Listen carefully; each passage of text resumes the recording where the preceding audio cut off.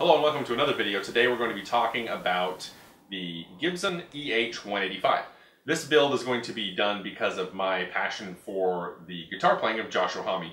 He's been uh, doing a lot of stuff with different people lately. He did Them Crooked Vultures and live he was using the Gibson EH-185. So I really liked the tone and I wanted to build it, so I checked it out. So if you look here, you'll see that this has some interesting looking tubes. The 6SQ7, there's one here, here, here, and a 6N7 here. Now you've probably heard of the 6L6 for the output stage. There's two of those in push-pull here.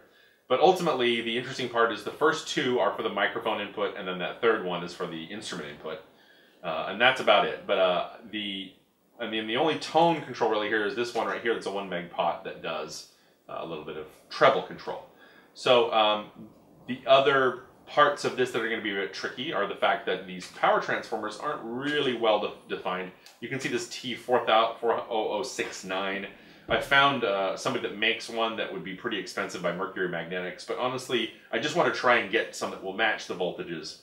This doesn't show the voltages, but luckily I found another schematic that the forum members pointed to me uh, on you know el34world.com that explain what the right stuff we need. And, and, I'll link in that forum post about it. But ultimately, the only other problem is going to be the speaker field right here. Uh, in the old days, a lot of the amps used to have what would be a speaker cone field coil that helped effectively do a lot of the filtering. Uh, that is not going to be something you can find easily nowadays, so we'll, I've had to replace that as well.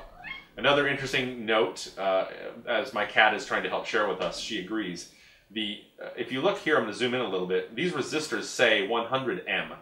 They're not actually 100 meg resistors. Back in the day, on these that used to actually mean 100K. I'm not sure why they did that or changed that, but uh, at any rate, we we are going to go quickly now to look at the schematic I've revised for this. Here it is, pretty much the same way as you can see, but done in a schematic I can edit and play around with. Um, ultimately, if I make changes or decide to deviate from that schematic design originally, I will try and incorporate those into a final version later. All these will be linked into the video below. So uh, ultimately, uh, very cool amp. The 6SQ7s uh, uh, will hopefully have a very distinct tone to them. The 6N7 uh, phase inverter here uh, will provide, you know, the, the splitting of the signal to the two halves of the push-pull setup here. And we have a 5U4 rectifier. Now, the one note about this is that this actually is a slightly different version than what I believe he plays, and I may build that one as well. This is a 1940 model of the amp. The previous version was from about 1938 or 39.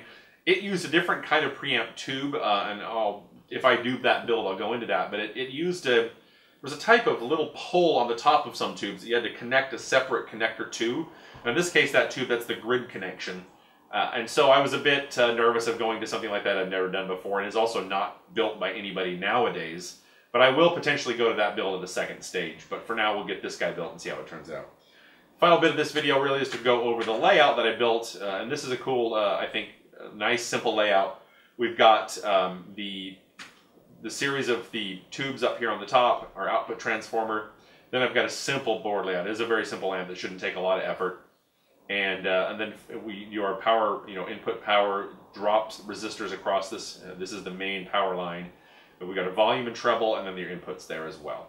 So uh, then on the next uh, page, I just show the kind of power section where we'll have the power coming in, connecting to the different filter capacitors, the, the rectifier, and the main heaters, and the bulb that connects to the system. So as you can see, it's going to be a fairly straightforward amp. I'm pretty excited to make it. I think it'll be a lot of fun, and I'm hoping it will sound pretty amazing. So thanks a lot. Keep your uh, keep yourselves posted for the next uh, update of the first parts of that build.